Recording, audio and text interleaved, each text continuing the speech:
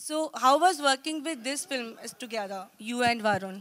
And Karan, you also tell us कि कितना difference हुआ इनमें student to Kalank.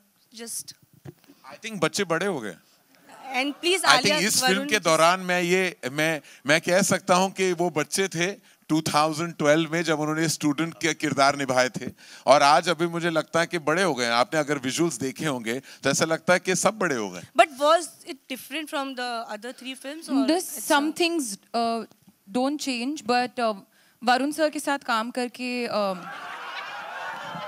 मुझे बहुत अच्छा लगता है बहुत अच्छा लगा है स्पेशली हालाँकि शुरुआत में हमारे बीच कुछ लड़ाई सच हो सच रही बात थी। ये शुरुआत में बहुत लड़ाई हुई थी क्योंकि क्योंकि tell please tell the reason why लड़ाई No हो रही थी। reason. I'll tell you when did it became become fine. When I started directing we're not when you fell down.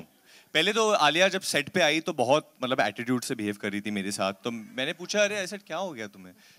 ऐसा क्या दो तीन बड़े फ़िल्में साइन कर लिए तो क्या कुछ हवा लगी है? तो शी सेड नहीं नहीं नहीं नहीं I mean my character and all तो she was this conversation never happened तो एक दिन मैं थोड़ा सा लेट आया था और लेट का मतलब है मैं 20 मिनट लेट आया था।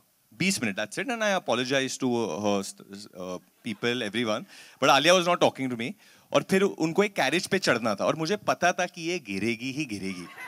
और गिर के जाएगी किधर? मुझे ही पकड़ना है। तो जब वो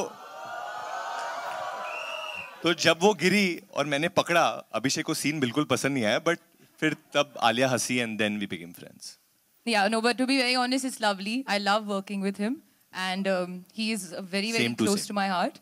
And um, I have to say, he is fantastic in the film, in my eyes. Karan, uh, Karan Justin here from Karan Sanjay Justin ji, here from आपके That's the PTL. last left question, में- ladies and Karan gentlemen. Justin here Okay, from last, last. Karan Sanjay Justin